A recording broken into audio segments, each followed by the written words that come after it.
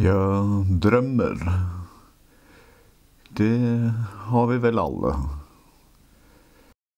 Men noen trosser alt, all motgang og alle hindringer for å virkeliggjøre drømmene sine.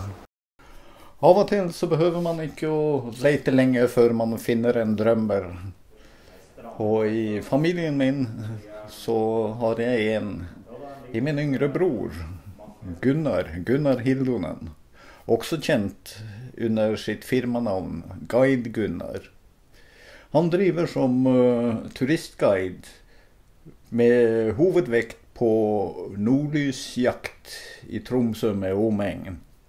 Men historien hans begynte lenge før det. I uh, 2012, sommeren 2012 så hadde det seg sånn at vi tilfeldigvis befant oss begge to på det som var mitt barndomshjem en gang i tiden. Ytre Nordmannset på Sjangerfjorden i Finnmark, lengst nord i Norge, på veien mot Nordkapp. Så jeg bestemte meg for å ta en prat med han Gunnar.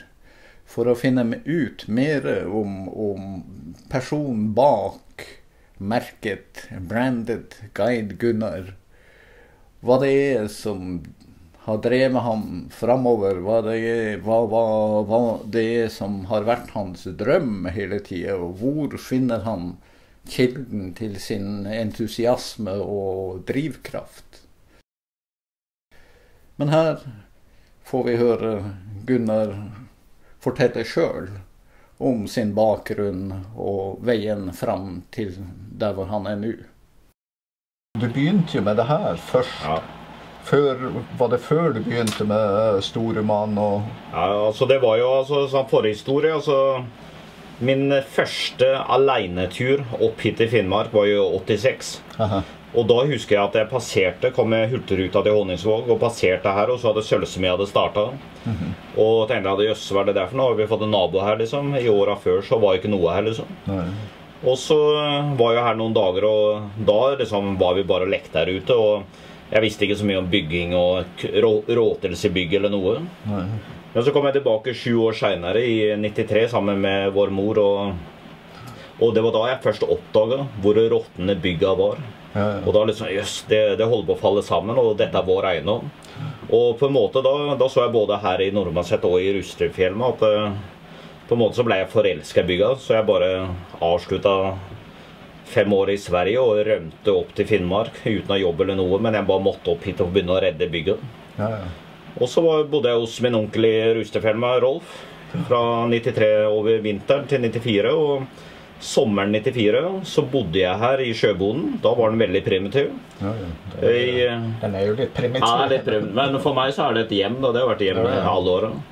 Men uh, da begynte jeg å, å rive hovedhuset pga. at det var det som hadde begynt å råtne unnafra. Så det var ikke noe håp, egentlig. Så, eh, og så bodde jeg her i Sjøboen i to og en halv måned. Og samtidig da så drev jeg, fikk jeg bare sånn idé, for at jeg drev og sykla litt. Mm. Så jeg skulle sjekke på, mot syklistene hvor mange syklister som sykla til Nordkapp, og hva de kunne tenke å betale seg eh, for, for, en overnatting og sånn. Mm. Så jeg hadde noen enkle spørsmål. Ti, ti spørsmål, tror jeg. Og så kunne de enten poste den som et brev, eller kunne de returnere på om de kom i retur. Så det var min første markedsundersøkelse Aha. på reiselivsvirksomhet. Ja. Og så egentlig da hadde jeg ikke noe mer planer om å starte noe firma nå. Det var bare at jeg drømte om kanskje man kunne skapt noe her. her da. Ja, ja. Og så da to år seinere så kom jeg inn på en guideskole i Nord-Sverige i ja, 1996. Og eh, det var da jeg da har jeg liksom begynt å tenke at nå, nå, skal jeg begynne å jobbe med dette. da. Mm. Ja, faktisk Året før så hadde jeg avslutta min møbelsnekkerkarriere. Så jeg ja. sa det at jeg skulle ut i naturen og jobbe med, med for mennesker. Men jeg tenkte ikke på noe guide. Jeg bare tenkte at jeg ville bare ut og jobbe med mennesker. Jeg visste ikke noe mer. Mm. Og Så gikk jeg guideskolen, og så fikk jeg en følelse på hva, hvilke retninger jeg kunne ta, og hva som fantes av jobber innenfor den bransjen. Ja, ja. Da var jo det som falt meg naturlig, skiguide og sykkelguide og litt sånn forskjellig. Mm. Jeg har rekt på en toårig fjellederutdannelse der, da. I, i regi av svensk skolesystem og en som en folkeskole da, med yrkesretning innenfor reiseliv. Mm. Og kort fortalt da, så var jeg ferdig der i 98, og da var det bare snakk om å skape jobb. Jo, forresten, altså når jeg var 94 her, to og en halv måned, så var jeg også her hele sommeren 95 da, og, og drev og Først sommeren før så rev jeg ned hovedhuset. Mm. Sommeren 95 så bodde jeg i fjøset og rusta opp, eh, opp eh, sjøboden med gulvet som jeg tok fra kjøkkenet i hovedhuset, og veggene som fikk en begynnelse på, på panelet fra, fra kjøkkenet mm. i, i, i, hovedhuset. Og så hadde jeg håpa på at det være her mye mer, da, men uh, tida går, og man var ute og jobba og begynte som taxisjåfør sørafor. Og, mm. Og i 98, da jeg var ferdig med skolen, så hadde jeg egentlig ikke planer om noe eget firma, men jeg begynte å planlegge en sykkeltur i eh, Finnmark, fra Lakselv og Østhoven. Mm.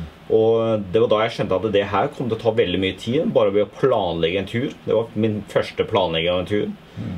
Utenom speiderarbeid tidligere. Da hadde jeg alltid, alltid planlagt turer. Mm. Men uh, så da bare fant jeg ut at nei, jeg får bare stifte meg firma. For man trengte firma for å organisere alt sammen Også.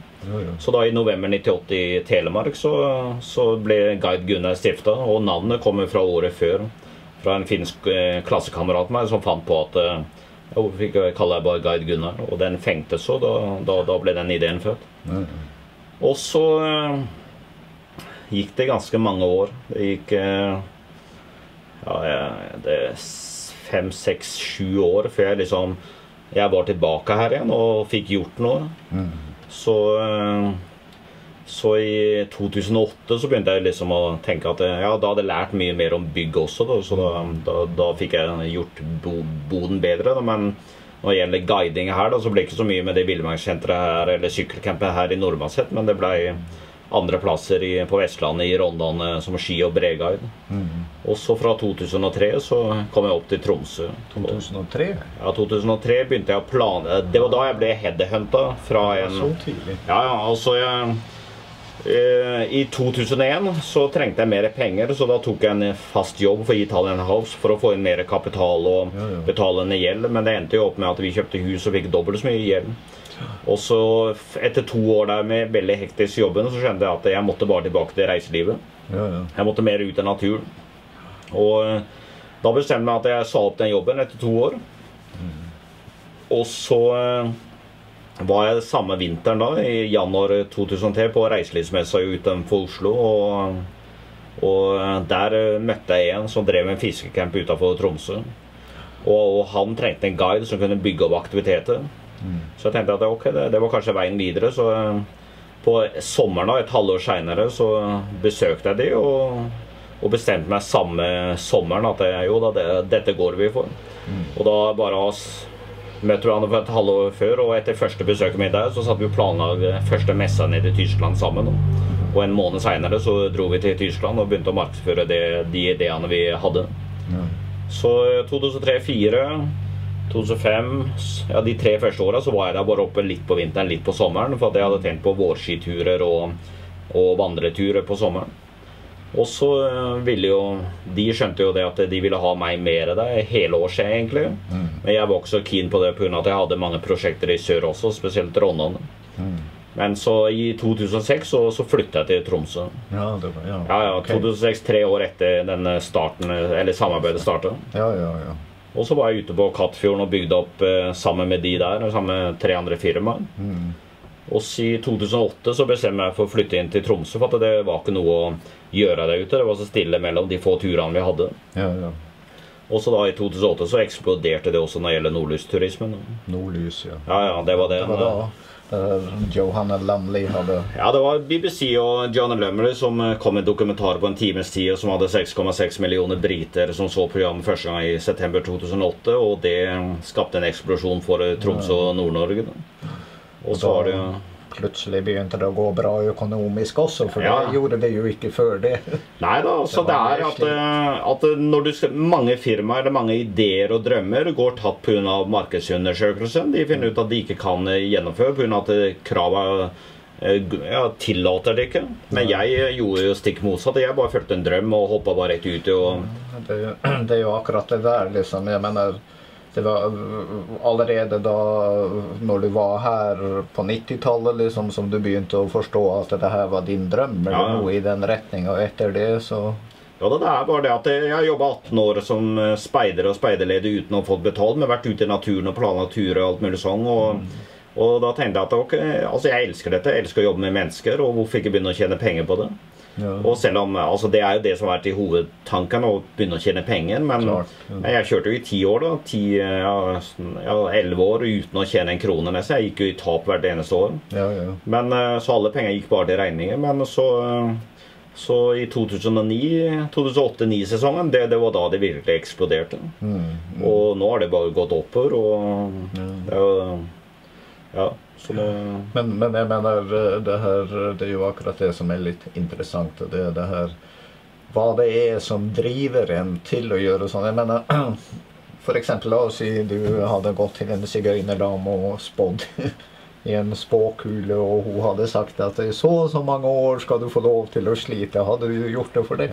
Ja, jeg tror det for at det er en livsstil. Altså, Folk må forstå det at eh, det er helt forskjell på en betalt 8-4-jobb ja. og, og, eller å jobbe etter en livsstil. Ja, ja. Altså, Det er det du våkner opp og du liksom bare forsøker å få liv i den drømmen du, du drømmer om, og du kan ikke gi den opp. Og nei, nei. Det, det, som brenner ut mange, det er at eh, vi jobber for hardt. Altså, altså vi, vi, tenker ikke på egen helse og sånn, og det skal bare gjennomføres. Ja, ja. Og, eh, men selvfølgelig når du da får mer, bedre økonomi i hele prosjektet og, og, det du selger, så har du også råd til å ta mer fri. Klar. Du har råd til å si nei til turer. Du har råd til å sette en minimumgrense for hva du skal ha inn per dag. Ja, så du, Tidligere så tok jeg samme hvilken tur, om det var én eller ti personer, og samme som betalinga var. Mm. Men nå så sier jeg at minimumet min er 3500 per dag. Ja. Så, Fordi det, det, det, er jo også sånn at man bør jo kanskje ikke glemme drømmen, liksom. Hvis det blir bare å handle om å dra inn penger, liksom, mest mulig penger, liksom, så, så hender det jo at drømmen kan forsvinne inn i det. Ja da, så det er uh, Må jo ta vare på det gode, og det er jo nettopp det man skaper kanskje gjennom å beholde kvaliteten. Ja, ja. Mange tror jo at man uh, har det bedre økonomisk om man får større grupper og mer folk og mer penger inn, men mm. Da trenger du også flere ansatte og flere hjelpere og sånn. Så, så, du sitter ikke igjennom med noe mer. Altså du sitter igjen med bare et større slit. Og... Mer bekymringer. Ja, ja, riktig. Regninger og så, uh... det, her, det, det, påminner meg egentlig om, om uh, det samme som man opplever med, med kunst. Liksom, at man oppdager til slutt at det er bare én ting i, i livet som man må gjøre, nesten. Og gjør man det ikke så er det akkurat som om det er noe som faller sammen. liksom. Ja. Og det er vel noe felles med det her. Nesten som man kunne kalle det et kall. Ja, det, altså jeg er eh, Som jeg sier, jeg, når jeg ble født, så ble jeg sluppet rett ned i blåbærlynga, og siden har jeg vært her. Så det er liksom det som er meg. Jeg er eh, det har vært lange stunder jeg ikke har vært ute i naturen, men jeg har visst hvilken, eller hvor, hvor jeg hører hjemme. Og mm. det må leve i den primitive sjøboende her også. altså Alle sammen maser med et enkelt vindu, da, men jeg har et stort vindu her. Ja. Det er en dobbeltdør rett ut, og så er det noen sånne små eh, lysglimter ut av sengekammerset og ut mot veien for å se hva som skjer der. Men selvfølgelig, det er, altså, det er ikke det som har vært det viktigste. Det har vært å ha en plass å komme ut. Og denne også ligger jo ganske herlig ute i naturen, selv om vi har en Nordkaldveien rett forbi her. Så ja, ja. det betyr veldig mye å komme, og selvfølgelig at man har den familiehistorien her. da. Ja, så at uh, Mange sa til meg når jeg rev hovedhuset i 94 at nei, det er bare å sette fyr på, det er ikke noe å spare der. Men man ser jo på veggene, man ser på gulvet her, og det er liksom hele huset, en del av huset, sjela si, den ligger igjen her. da. så absolutt. Så det er den naturbaserte tingen som er veldig viktig. Å ta vare på det personlig, ta vare på stillheten. Ja. Så, ja, så det, blir, det blir jo liksom ikke eh, for man kunne tenke seg det at ok, du bestemmer deg for at det her er yrket ditt, og nå skal du gjøre en karriere innenfor det, og sånn, og så jobber du hardt, og så gjør du en karriere. Men jeg mener, det blir alltid noe mer enn det. Ja. Ikke sant? Det blir det, blir det her Det som du snakker om nå, liksom om, om de, de, de, kvalitetene som du egentlig ikke kan sette pris på. liksom. Ja, altså det er jo det at du kan jobbe og ha din egen, eller en arbeidsgiver, og så får du arbeidsoppgivene der, derifra. Men når du skaper ditt eget, så, så, begynner det å gå dårlig. Så må du klare å kreat, lage den kreativiteten selv. Du får jo selvfølgelig ideer fra alle andre og samarbeidspartnere og kurs og alt mulig sånn, men uh, Men uh, du, du, må hele tida fornye deg for å ikke bli glemt om du skal fortsatt holde på med det. Er, men uh, det er som et kunstverk, dette også. Du, du maler på og maler på for å gjøre kunstverket enda bedre. Ja, Pluss det akkurat det med fornyelse er også viktig, også innenfor det kreative arbeidet. fordi at, at hvis du fortsetter i det samme sporet hele tida, så blir det rutine. Ja. Og da, da, da, mister du liksom noe av gnisten på det. Og hvis du da fornyer deg, liksom finner på, eller er åpen for når det nye kommer, da, ja. så, så, så, så, blir det en fornyelse, en ny giv midt ja. i det, og så unngår du rutinen. Det er jo samme som det når vi ser på nordlysturismen i Tromsø nå. at det er eh, vi var en tre-fire små aktører som kjørte rundt i små busser og bygde opp hele, hele nord nordlysturismen i Tromsø. Mm. Og nå kommer 50-seterbussene inn, og når det er veldig populært, Mm. Så får vi se om fem år, da, når det begynner å For da sier jo forskerne og media at nå er det mindre aktivitet. Ja, ja. Så får vi se også om interessen da daler litt. Vi, vi tror ikke det, men, mm. men, uansett da, så skal det holde et godt produkt. Det er bare de som har det gode produktet som kommer til å overleve. Ja, så selv om det blir nå dobbelt og tredobbelt så mange aktører som for to, to eller tre år siden, så eh, skal vi se om fem år igjen, så forsvinner de antageligvis igjen. Det, det, det, og akkurat det som jeg også tenker på, det her med, med ildsjeler, entusiaster. Og Det er jo liksom det som må drive. Og hva i all verden er liksom entusiasme? Hva er det her som driver folk til å gjøre? For jeg mener, liksom, Tenk på alle de årene hvor du ikke tjente noe. og som jeg sa det, Hvis du hadde visst det på forhånd, ville du ha gjort det samme da? Ja. ja da må det være noe sånn her Nei, men Det er som å våkne opp. da. Du kan gjerne bare sove hele dagen også. da. Det er jo deilig, det også. Men ja.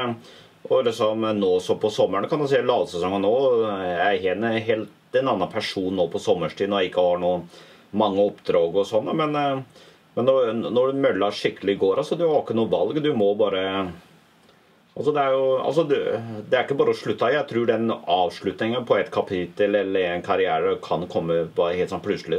Ja, ja. Jeg vet ikke hvordan det er med kunstnere, men uansett. Altså, jeg, jeg var møbelsnekker i over ti år, og plutselig sa det stopp. Ja, ja. Nå har jeg vært, guide i over 15 år, da, så det har ikke sagt stopp ennå. Men det er sånn eh, men allikevel, liksom, snekkerjobben var jo mer en jobb, ikke sant? Jo, jo, riktig. Det var det, at jeg måtte opp og hadde en sjef over meg. og ja, men også, også, at grunnen til at du jobba med det, var det mer det at du behøvde penger for å overleve, ikke sant? Ja, ja på en måte.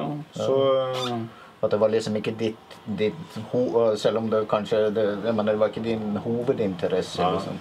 Det var ikke noe der som liksom Nei, det er hvor man henter entusiasme fra. Er aldri, det er mange spørsmål jeg ikke klarer å svare på, men det er eh, bare ja. Nei, men det er en sånn slags indre sjel som, som, som, bare styrer at liksom, ja, dette er din vei. Altså. Ja, ja. Det er som, altså på en måte da, så hadde ikke vært for alt den entusiasten man ser i gleden av, av alle gjestene som kommer ut og får en opplevelse. Mm. Og de tilbakemeldingene fører en videre og vil jobbe enda hardere for å gjøre produktet enda bedre. Klart, klart. Det, er, det, det, er mye det som driver en videre. Det er der entusiasmen ja, ja. kommer inn. Da. At den blir ja, ja. smitta over fra gjester som får oppleve noe du selv har skapt. Ja, ja, ja. Pluss at naturen finnes der, nordlyset finnes der, men uansett så er det jo en som styrer det, nemlig guiden, og i dette tilfellet meg. Ja, ja, ja. Så det er jo det, det er jo grunnbasisen, tenker jeg. Ja, ja, ja. Så altså man kan bli skikkelig sliten og lei også noen ganger. Altså spesielt lei av turisten når det er så massivt mye, mye folk å jobbe med. Men, mm. men du vet det at eh, når du våkner opp eller får en lengre sommerpause og setter i gang igjen, så er du da bare går det som en, som en autopilot. Ja, ja, ja. og så er jo litt det at eh, du, du, må også vise de du samarbeider og konkurrenter også at liksom, du skal være best. For er du ikke best lenger, så må du begynne å tenke på at skal du kanskje legge av. Ja, ja, ja. Så eh, det er en eh, det er veldig hard kjør i, i, i toppsettet for å holde det gående. Vi er liksom to stykker som er kjente da i Tromsø når det gjelder Nordlys. Resten er bare ekstra firmaer som har kommet på. Ja, ja. Så, eh, så, gjør jeg en tabbe, så, så, er det kanskje game over. da, Eller så blir jeg tilgitt, nei, tilgitt da, på grunn av at uh, det, det, var bare én liten mistak, liksom. Så resten er jo veldig mye tilbakemelding, positive tilbakemeldinger. Men la oss nå si man tenker seg det, da. At ok, så faller det hele sammen. Men er, tror du at du da med glede går tilbake til en møbelsnekkerjobb, eller kommer du til fortsatt å forsøke et eller annet? Nei, Jeg har funnet ut det. Jeg har prøvd det også i guidekarrieren. Så har jeg vært innom et par andre jobber utenom taxijobb. Taxijobben var jo grei, for da var du selvstendig. Men eh, mm. jeg har vært jobba på både Mack eh, ølbryggeri og vært sjåfør her i Tromsø også for et annet firma. Men jeg funker ikke med en sjef over meg. Så, eh, så nå har jeg åpnet, eller kommer til å åpne Bed and Breakfast i min nye basecamp. Og jeg har fortsatt Nordmannsett her og andre steder også som jeg kan starte nå. Så jeg tror heller at blir jeg lei av den rene guidebiten, så tror jeg kanskje at jeg fortsetter sånn som jeg begynte litt nå, da, å ansette guider. Mm. Og at de kan overta eller styre hver camp. Og at jeg går litt imot min vilje, egentlig. For jeg har alltid sagt at jeg skal være veldig liten. Mm. Bare meg, guide Gunnar, liksom. Men mm. så ser jeg litt at ok, jeg kan styre flere bed and breakfast med et uh, kvalitetsprodukt på plass. Mm. Og med guida turer ut fra hver enkel, enkel location. Så, mm. så, det er altså Jeg bare spinner videre. Også, så. Ja, det er det jeg mener. at selv om, selv om noe faller i sammen der, så du tror at du kommer til å fortsette på et eller annet ja, ja. i den samme retninga. Fordi det Ja, jeg mener selv om noe faller sammen, så er det jo fortsatt drømmen. ikke sant? Ja, det er også pluss at det finnes jo veldig store organisasjoner over oss. NHO eh, Reiseliv, Nordnorsk Reiseliv, ja, ja, ja. Visit Tromsø, alle de der mm. som, som, som, styrer mye av markedsføringa. Og det kan jo være at kanskje jeg blir interessert i å jobbe for de, eller at de ser hvordan jeg jobber og vil ha, ha meg med på teamet. Da. Så, ja. Når du blir pensjonist. Nei, pensjonister, da er vi pensjonister. Så ja. da håper jeg at jeg har satt av en bra, såpass bra kake. da, For jeg har jo jobba bare sånn for mitt, meg sjøl. Så pens, pensjon og sånn, det er jo fremmedordet i min bransje. Iallfall sånn som jeg har styrt livet mitt. Så Altså, jeg, altså pensjonist Det er jo spreke pensjonister som går og vandrer opp i fjellet til de er 75-80, så, så, det er jo alltid Det var det jeg tenkte nettopp at du kanskje ikke blir den pensjonisten som steller i hagen, men du går heller opp i fjellet så lenge du kan. Ja, riktig. Og så kan jeg guide fortsatt. Da har jeg et navn og, ja, som jeg har mine camper. og... Eller at du er her og nyter av tilværelsen her. Ja, jo, riktig. Så det, det, blir, det, blir, liksom hele Eller det du aller helst vil, til og med da, er liksom den her livsstilen.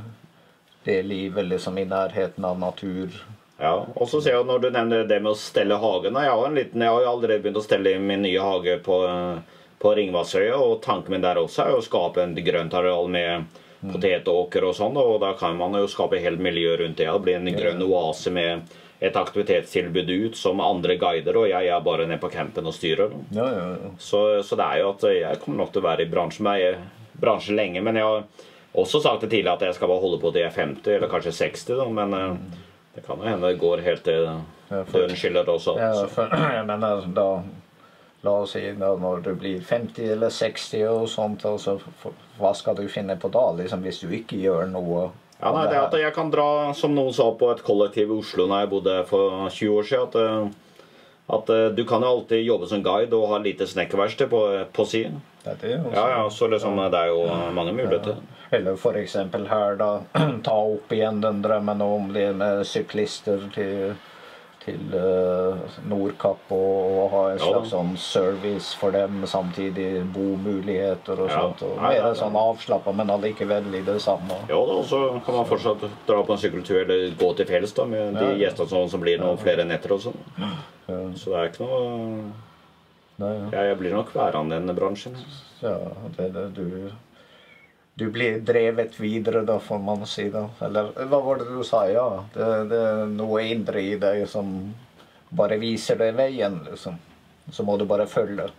Ja, det er jo en veiviser da, som er, har ånden over meg, på en måte. Som uh, legger veien uh, for at dette, denne veien må jeg gå. I ja. dette sporet, liksom. I, følge de fotsporene. Ja, ja. Så det er jo det. Det er jo noe som leder meg, men hva eller hvem det er, det er vanskelig å si. Så, statskirke, ja, så jeg tar ikke å fjerne hatten for Herrens åsyn. Nei, riktig. Ja, det er jo klart. Så nei. Først, først, så tenkte jeg skal jeg ta den av, Ja. Men så tenkte jeg men herregud, hvor skal jeg gjøre av alt? liksom? For jeg hadde jo fanget fullt av kamera Ja. og kameraveske og sånn. Så tenkte jeg nei, jeg bare mister den på gulvet. Liksom. Nei, den får, den får heller klare seg. Men alle damene sitter jo med hatt, så kan